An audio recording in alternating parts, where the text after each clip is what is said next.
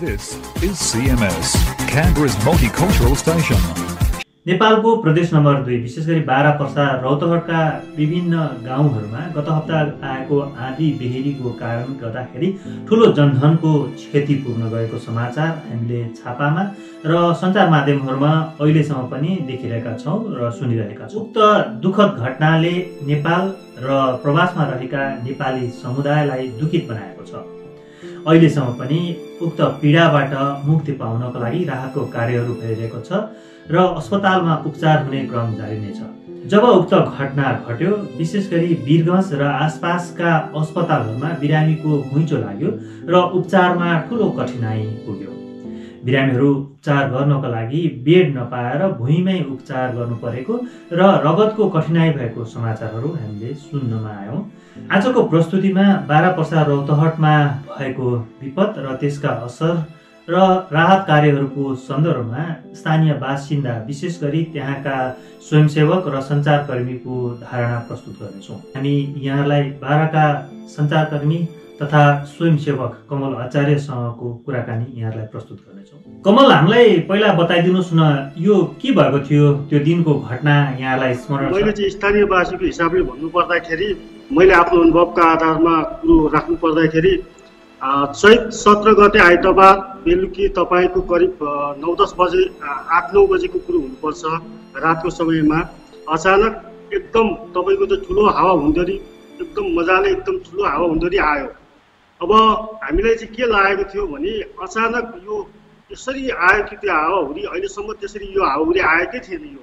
यति यो अहिलेसम्मको इतिहासमा एकदम चाहिँ खतराको सङ्गीत हामीले त्यतिखेर महसुस गऱ्यौँ तर हामी अब एउटा चाहिँ अलिकति सुरक्षित स्थलमा भएको कारणले अब हाम्रो चाहिँ एउटा चाहिँ सुरक्षित स्थलमा बास भएको कारणले हाम्रोमा त्यति क्षति हुन सकेन। तर त्यसको भोलिपल्ट बिहान हामीले चाहिँ अब निरीक्षण गर्दै जाने क्रममा अनुगमन गर्दै जाने क्रममा त्यो हावाहुन्डरी तपाईँको चाहिँ बिरगज बिरगजको पर्सा र बाह्रा हाम्रो यो बाह्र जिल्लामा चाहिँ एकदमै छिटो ठुलो क्षति भएको चाहिँ हामीले त्यहाँ देख्यौँ। कहाँ कहाँ प्रभाव पार्यो त कुन कुन क्षेत्र प्रभावित भयो? यस्तो प्रभावित क्षेत्र भनेको तपाईँको बाह्र र पर्सा जिल्लामा रहेको छ र यो बाह्रमा तपाईँको पुरैनिया एउटा ठाउँ छ एउटा गाउँ हो पुरैनिया। भलुई भवरलिया हटिया परशुरामपुर फुटवा र पचरौता नगरपालिका प्रसौनी गाउँपालिका परवानीपुर गाउँपालिकामा चाहिँ एकदम विशेष गरी जनधनको समेत क्षति भएको चाहिँ हामीले त्यहाँ हामीले त्यहाँको स्थानीय प्रशासनले बताउनु भएको छ। अनि उक्त घटनाबाट भएको क्षति बारेको जानकारी केही छ यहाँलाई?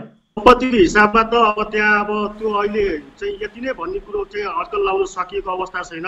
त्यहाँ लगभग तपाईँको दुई सय अढाई सय घरहरू चाहिँ त्यहाँ ध्वस्त भएको देख्न सक्छौँ हामीले होइन? देखिएको छ।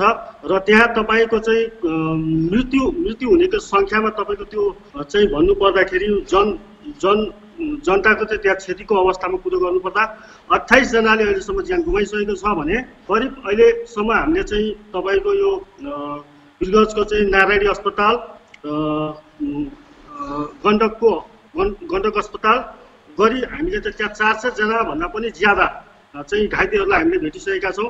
उनीहरूको चाहिँ अहिले चाहिँ त्यहाँ सकुशल त्यहाँ चाहिँ उपचार हुने क्रम जारी रहेको छ। राहत कार्य चाहिँ कस्तो भइरहेको छ नि अहिले? राहत कार्यको लागि अब अहिले अहिलेको हिसाबमा अहिलेको यो कन्डिसनमा भन्नुपर्दा अहिले राहत कार्य एकदम पर्याप्त भइसकेको छ। जुन बेला तपाईँको सत्र गते यो घटना घट्यो सत्र गते घटना घटिसकेपछि तपाईँको राहत कार्यको लागि त्यहाँ स्थानीयहरू चाहिँ एकदम त्रसित भएका थिए। स्थानीयहरूमा तपाईँको चाहिँ एउटै घरको व्यक्ति चारजना आफ्नो घर भत्किएर पुरिएर मर्नु परेको अवस्था पनि थियो र त्यस्तो अवस्था पनि सिर्जना भएको हामीले देख्यौँ। र तत्कालै अब हामीले सत्र गते त्यो घटना भएपछि अठार गते हामीले त्यो चाहिँ समाचार सङ्कलन गर्ने क्रममा त्यहाँ चाहिँ एकदम मतलब त्यो एकदम त्यो गाउँ नै शमशान जस्तो भएको हामीले त्यहाँ देख्न पायौँ है। त्यो अवस्थामा थियो र त्यसपछिबाट राहतको लागि हामीले चाहिँ भनौँ अब विभिन्न सङ्घ संस्थाहरूबाट पनि चाहिँ राहत जस्तै अब पानी चाहिँ पानी खाद्यान्न सामग्रीहरू अब वासस्थानको एउटा चाहिँ भनौँ अस्थायी वासस्थानको लागि त्रिपालहरू चाहिँ त्यहाँ चाहिँ धेरै कुराहरू चाहिँ राहत मिल्ने क्रम भइरहेको थियो। र रगतको जुन तपाईँको भनौँ चार सयजनाको लागि चाहिँ तपाईँको चाहिँ चार सयजनाको उसको स्वास्थ्यको लागि। हस्पिटलमा चाहिँ कस्तो छ नि अब चार सय चार सयजनाको हस्पिटल हस्पिटलमा चाहिँ कस्तो छ त अब यो उपचार सम्भव छ कि छैन त्यहाँ? अहिले अहिले अहिले एकदम राम्रो छ। अहिले एकदम अहिले जुन चार सयजनाको एकैचोटि हस्पिटलमा एडमिट हुँदाखेरि जुन तपाईँको भनौँ अस्पतालको स्टाफहरू कर्मचारीहरू एकदम आत्तिएको थिए नि त त्यो बेला। किनभने चार सयजनाको लागि त्यहाँ एकदम व्यवस्थापन गर्नको लागि गाह्रो अवस्था थियो। गाह्रो अवस्था समस्या सिर्जना भएको थियो। अब अहिले बिस्तारै बिस्तारै त्यो अहिले अवस्था डर्दै गएको छ। अहिले अवस्था राम्रो छ। विभिन्न सङ्घ संस्थाहरूबाट पनि रगत रक्तदान कार्यक्रमहरू आयोजना गरी रगतहरू चाहिँ हामीले चाहिँ त्यसरी चाहिँ रगतको आवश्यक परेको घाइतेहरूलाई वितरण गरिरहेका छौँ। हुन त अहिले घटना घटेको एक हप्ता पनि बढी भइसकेको छ र के कस्ता सहयोग भइरहेको छ सरकारको तर्फबाट गैर सरकारी संस्थाहरू व्यक्तिगत तर्फबाट समूहबाट के कस्ता राहत कार्यहरू भइरहेको छ त त्यहाँ? यसमा तपाईँको धुर्मुस सुन्तली फाउन्डेसन पनि स्वयं उहाँ आउनुभएको थियो। धुर्मुस अब सीताराम कटेल र तपाईँको कुञ्जना घिमिरे पनि अहोरात्र बसेर एकदमै खटिरहनु भएको थियो होइन? अब स सञ्चारकर्मीको हिसाबमा हेर्नु पर्दाखेरि अहिले हाम्रो रवि लामिसानेज्यू पनि उहाँ एकदम रात अहोरात्र रूपमा खटिरहनु भएको थियो। र अब तपाईँको पार्टीगत हिसाबमा तपाईँको यो नेकपाको भातृ सङ्गठन अनेरा सबिले पनि त्यहाँ चाहिँ त्रिपाल बाँड्ने कार्यक्रमदेखि लिएर पानी बाँड्ने बाँड्ने कार्यक्रमदेखि लिएर तपाईँको खाद्यान्न सामग्री बाँड्नेदेखि लिएर अब आफै आफैले पनि त्यहाँ खानाहरू पकाएर तपाईँको चाहिँ अब भनौँ न पीडितहरूलाई बाँड्नेसम्म त्यो कार्यक्रमहरू गरिएको थियो। र राहत कार्य कस्तो चलिरहेको छ र के कस्तो सहयोगको चाहिँ जरुरी परेको छ प्रधानमन्त्रीहरू तपाईँको माधव कुमार नेपाल पुष्पकमल दाल प्रचण्ड शेरबहादुर देउवा र अहिलेको हाम्रो हाल प्रधानमन्त्री केपी शर्मा ओली पनि प्रभावित क्षेत्र अवलोकन गर्ने क्रममा आउनुभएको थियो। र हाम्रो गृहमन्त्री रामबहादुर थापा बादल पनि आउनुभएको छ।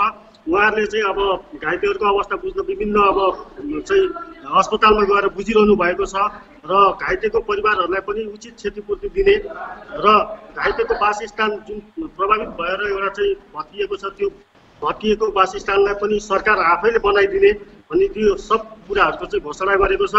हस् त यहाँको अमूल्य समय हामीलाई दिनुभयो र घटनाको बारेमा हामीलाई जानकारी गराइदिनु भयो त्यसको लागि धेरै धेरै धन्यवाद। यसै क्रममा गत अप्रिल एकका दिन गैरावश्य नेपाली सङ्घ अस्ट्रेलियाको आपतकालीन बैठक बस्यो र उक्त बैठकले केही निर्णयहरू गरेको छ। नेपालमा केही दिन अगाडि मध्य तराईको बाह्र र पर्सामा भएको प्राकृतिक प्रकोप आँधी हुरीले त्यहाँको स्थिति मानव जीवनमा निम्त्याएको दुःखद परिस्थिति आपद विपद र समस्याहरूमा गरावश्य नेपाली सङ्घ दुःख प्रकट गर्दछ।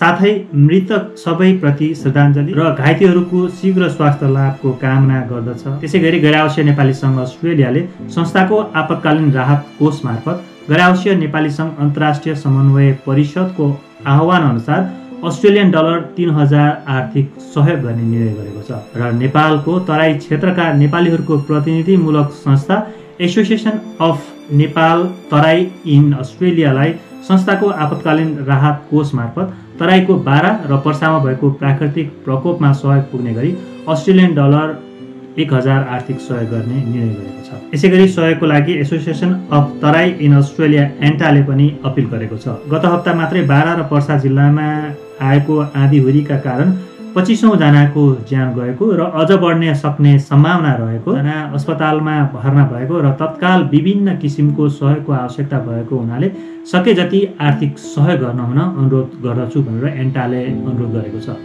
र सहयोग रकम जम्मा गर्नको लागि account name association of Terai Australia एन्टा BSB zero eight two zero two four र account number one four eight nine two five six nine one आएको यस्तो विषम परिस्थिति र दुःखद घडीमा हामी पनि दुःख व्यक्त गर्दछौँ। मृतकको चिर शान्तिको कामना शोक सन्तप्त परिवारप्रति धैर्य धारणा गर्ने शक्ति मिलोस् र घाइतेको शीघ्र स्वास्थ्य लाभको काम। आउनुहोस् तपाईँ हामी सबैजना एकजुट भई यस्तो विषम परिस्थिति र आफ्नो दाजुभाइ दिदीबहिनीहरूलाई परेको दुःखको यो घडीमा एकजुट भई सहयोग गरौँ। This is CMS, Canberra's multicultural station.